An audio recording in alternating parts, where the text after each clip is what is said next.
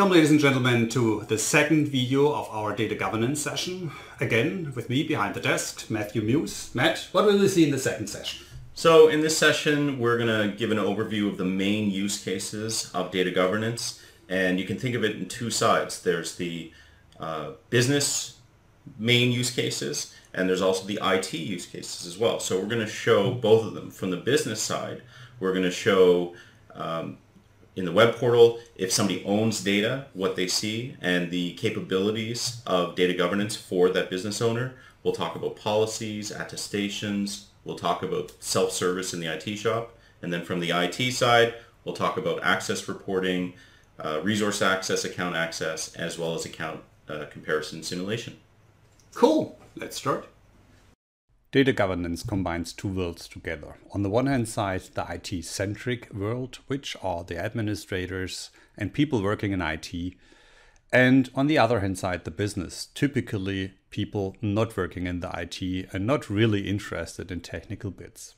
Our data governance implementation allows, on the one hand side, the administrators to do their jobs by working with technical permissions, and on the other hand side, the business to order permissions or to order new shares. To combine both worlds together in the Data Governance Edition, there is the Data Under Governance. Data Under Governance allows to make resources available in the shopping system where the business can start to order it. To document the differences, as well the tool set it's different. So on the one hand side, manager and designer Maybe job queue info and object browser are the tools for the more administrative world. They will never seen by the business. And as more, if you move to the business side of the data governance, you will move to the web portal. The simple rule is business to the web, and the admins can get access to admin tools. We try to consider this order as well here in the video training. So we will start on the admin side, then we will place some resources under governance and we'll move to the business side. With my managed host added, my agent deployed, and everything is in a data status of data available, everything's okay at this point. And what I can do is from the manager via the DGE server, I can actually browse and enumerate resources on that server. Now, in this particular case, my agent, my managed host happens to be this machine. But the same goes for anything that I happen to manage remotely, like this NetApp filer. But what I'll do is I'll show you what the behavior is uh, on this particular host here in terms of what you can do for enumerating remotely. So the default behavior when I double click on any particular managed host is to bring me to the resource browser. So in this view, I see shares and local file system. I'm going to go through the local file system. And I can see I have my C drive here. And a few seconds after I've made my default selection, in this case, I only have my C drive, you'll see security show underneath there. So you can see NT Authority System, built-in administrators, etc.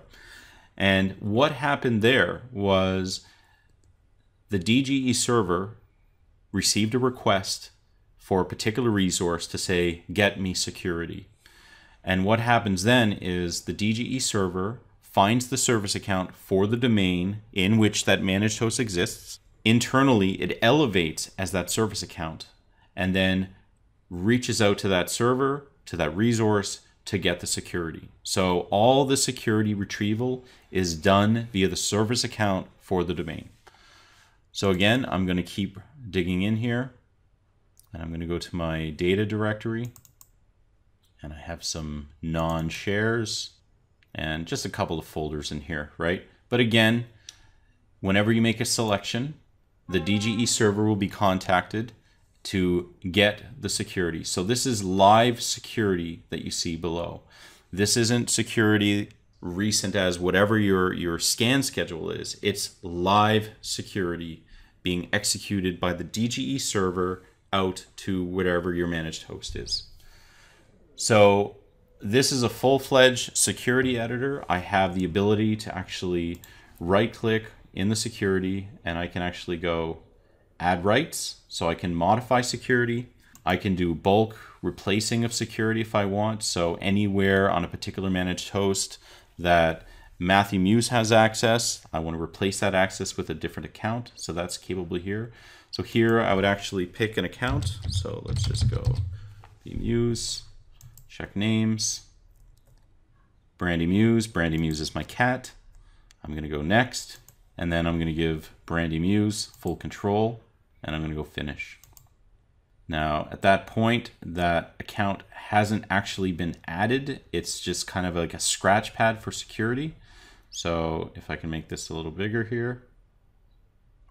So here you can see that, and it's in bold, that I've added bmuse full control to this particular folder, but it doesn't actually take effect until I click save. So once you click save, are you sure you want to save your changes? Yes. And now that security change is being executed. So now that we have agents deployed, they're off, they're doing scanning, they're enumerating the folders, they're enumerating files, optionally enumerating files. The agents are actually looking at the access control entries, they're looking at the trustees that are part of access control entries like groups or users, and they're actually storing all that information locally. But they also send some of that information up to the DGE server who stores that information in the Dell One Identity Manager database in the QAM tables. So what information gets sent up to the central DGE server and then up to DIM? That's something we call the security index. And what the security index is basically this agent found this particular account to have some form of access on this host that we're watching. So Matt has folder access on server A. Matt has share access on server B. Things like that. That's what we call the security index. It's a fast way to find out where accounts are actually used in access control lists. So the central one identity manager database in the QAM tables, there isn't the complete picture of where somebody has access. In order to find that information out, you start with the security index potentially to say that, okay, I can see that Matt has folder access on this server and share access on, on this server. I know that his account is used, in this case, directly. Show me everywhere that Matt has access, right? And that requires a further query uh, using an account access query.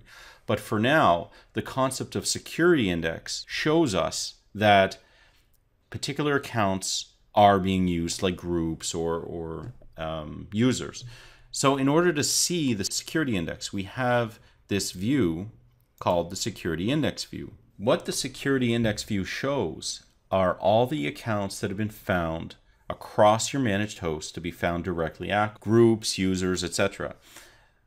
And here's an example. I have this uh, group here called the Domain Local Finance Group. This group has been used on a resource in order to provide access to people. However, within that group, there's a nested group called the Global Finance Group. And within the Global Finance Group, I have people.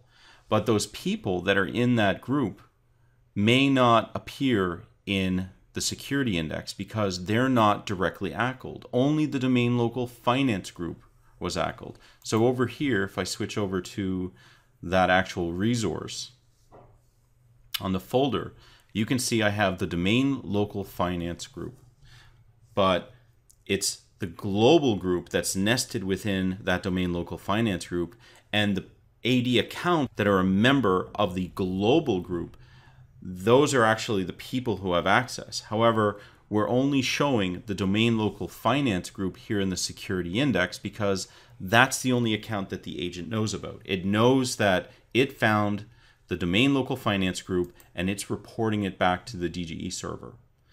So from here, I get domain local finance showing up in the security index. You can see that we actually listed under the yes, which means it has explicit permissions on one or more resources. But we also have no in here as well. Basically, what we do with this view is we break down all of your AD accounts all of the AD users, also SharePoint groups, local users, local groups, basically any type of account that the DGE agents can find.